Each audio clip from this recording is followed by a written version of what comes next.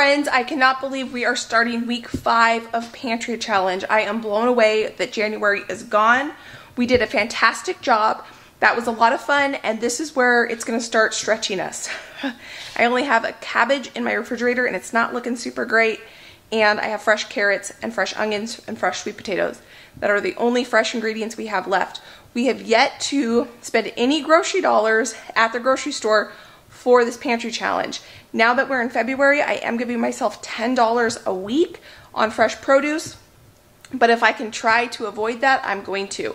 So we have tons of stuff left in our freezer. We have tons of stuff left in our pantry. And now this is where the challenge is going to start, is starting to cook with those types of things. I already cooked up dinner tonight, which my husband, right here, let me show you. I cooked up some sweet and sour meatballs. I just did some huge freezer prep for my sister. She just had her second baby and I cooked two meals for her. I did a sweet and sour meatball for her and a macaroni and cheese for her. And I went ahead and made a sweet and sour meatball for me that you just saw and a macaroni for me. So two for her, two for us. And then I did the same thing with these marinated meats. I did six total, three for her, three for us. These are smashed chicken. I don't have a better name for it. It's my mom's recipe. It's basically a garlic Worcestershire lemon marinade and it's fantastic. We also made some fajita chicken, some honey sesame chicken, and a ton of muffins.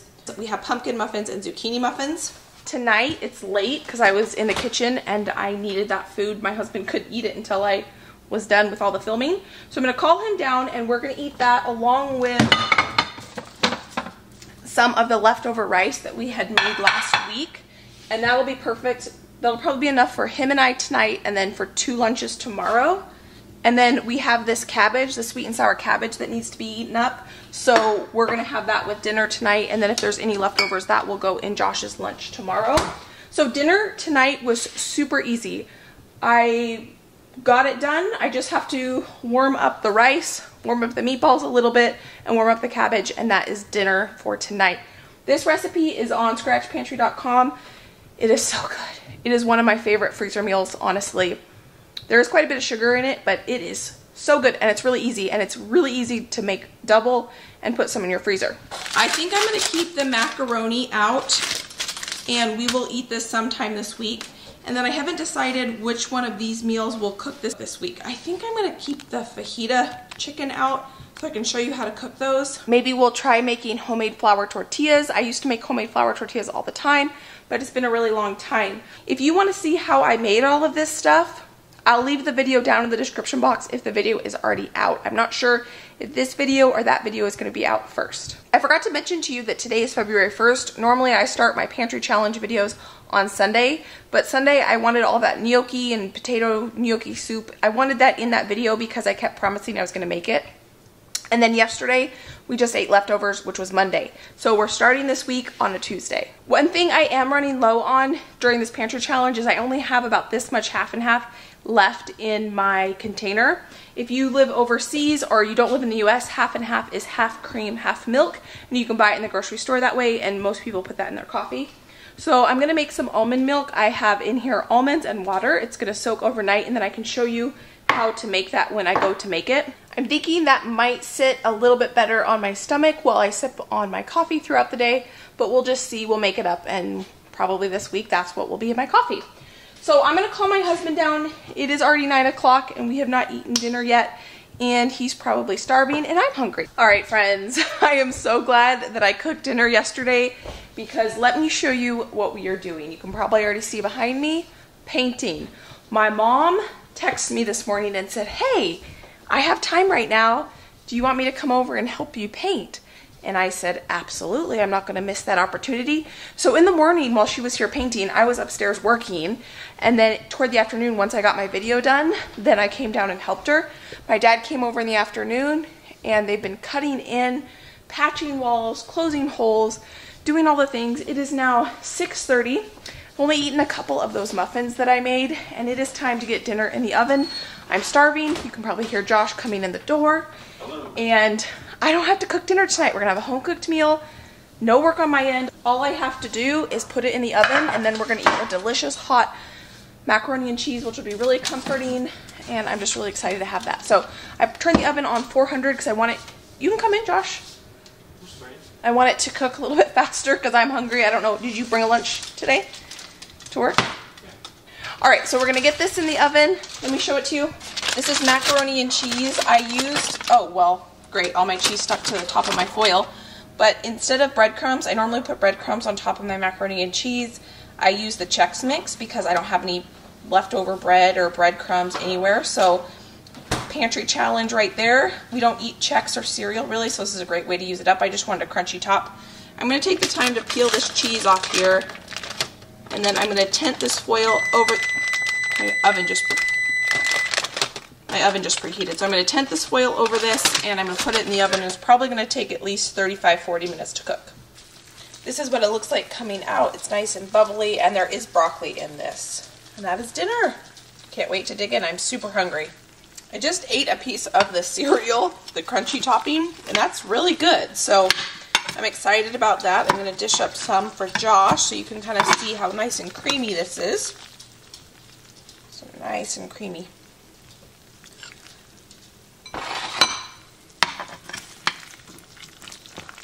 Super hot still, steamy, broccoli, cheesy, crunchy.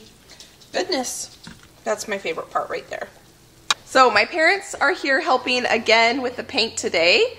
I didn't realize that they were coming two days in a row, which is awesome. But I'm upstairs editing. Let me show you real quick what they're doing. My mom is, she's rolled this room completely while I'm upstairs editing a freezer meal video that I did for my sister. And my dad just brought Chipotle, so now I don't have to worry about lunch or anything. So we're gonna eat this and I'll see you guys later when I am back in the kitchen. I had my almonds in water soaking for two and a half days because I just never got around to making it. You do not have to have it sit that long. You can even make almond milk the same day if you want to speed up the process of the soaking. Use boiling water instead of regular water.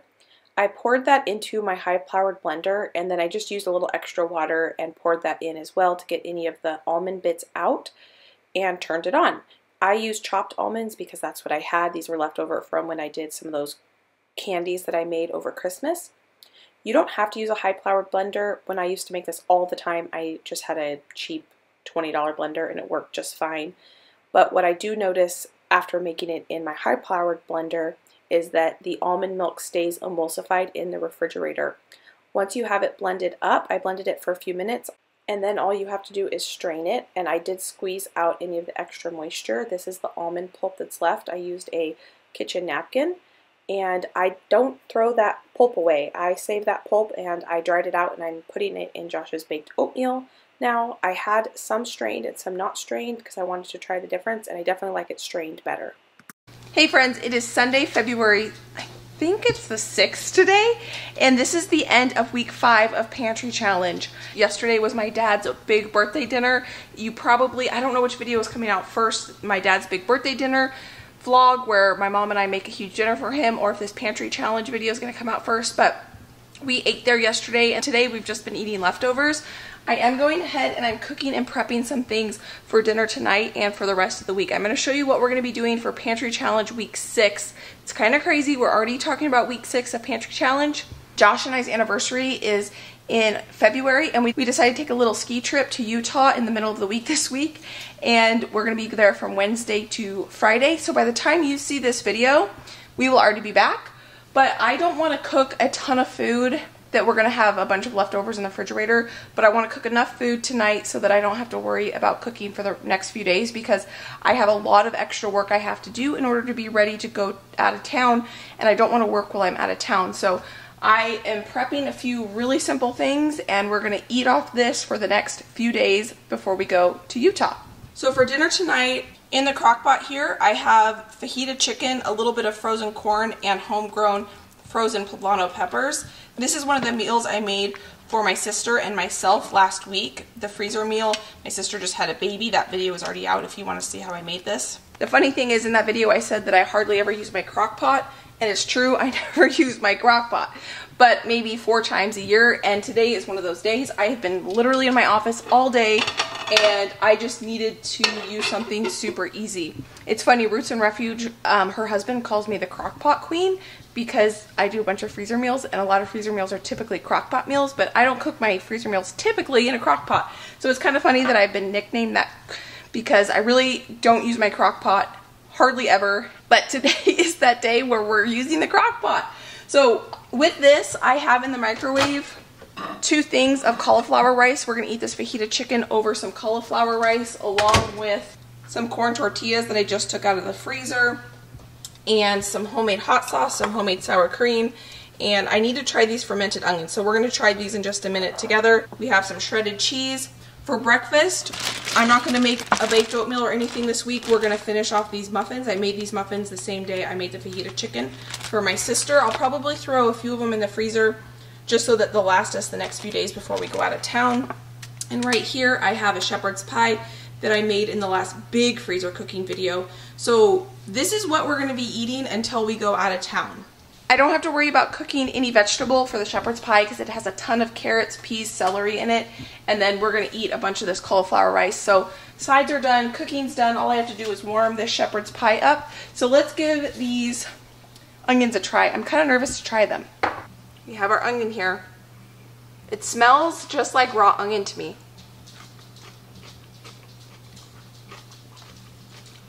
Hmm.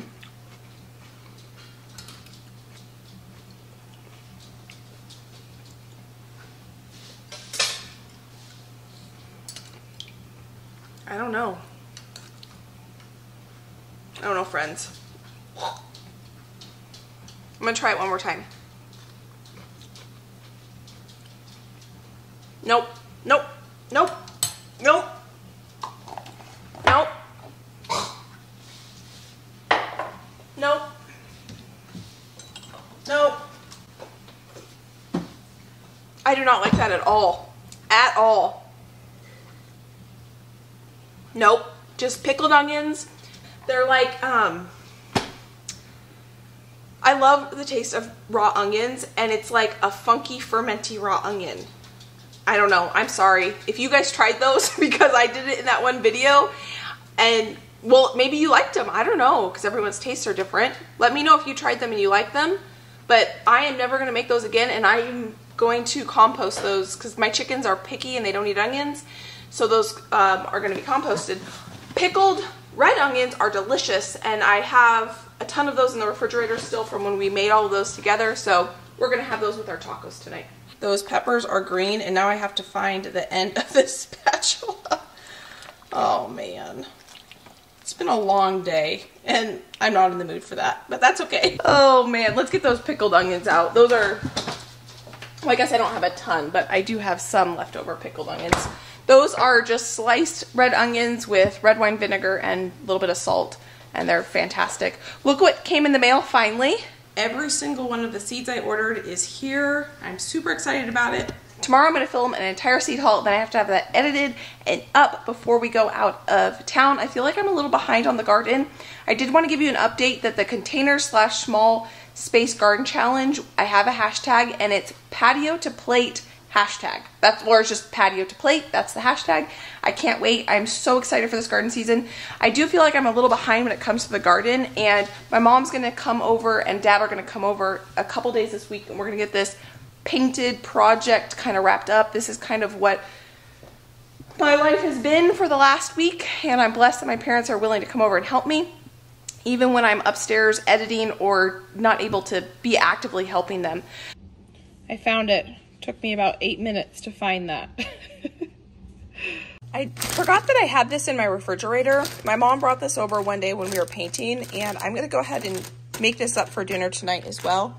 I did package up two lunches for Josh, so he'll have those for lunch for the rest of the week. And yeah, so I'm pretty excited about it. It's gonna be nice to have some screen mix pantry challenge week six. So I'm a mess. But this is the day before we're heading out to Utah for our anniversary trip. And I decided not to bake that shepherd's pie because it was just going to be too much food before Josh and I left and we wouldn't be able to finish it. So in the microwave, I have, it's going to be too hot to touch, just some frozen broccoli and the leftover cauliflower rice from the tacos. And I'm going to cook up a few pot stickers and just enough for one serving for tonight. I also whipped up just a quick little kind of like teriyaki sauce. It just has soy sauce, Korean red pepper flakes, garlic, sesame oil, and soy sauce. And then we're gonna cook up the pot stickers and that's gonna be tonight. I've been working all day uh, to try to get ready to have videos for you guys while I'm gone. And so my mom actually came over and she completely finished painting down here all the walls. I still have to paint the ceiling, but everything is painted except for the ceiling. And now I just have to clean up. So I'm pretty happy about that. I think this just freshens this up. I wish we had painted two years ago, but it is what it is. Thank you for hanging out with me week five and six. When we get back from Utah, I'm gonna start this pantry challenge right back up. I did put that shepherd's pie back in the freezer so that we can use that for another night. So I will see you guys next time. If you wanna watch more of my videos, I'll put them right here. If you're new, please consider subscribing. If you enjoyed this, please give it a thumbs up. I know it's a little different than the other pantry challenge videos. Thanks for hanging in there with me. I'll see you next time. Bye guys.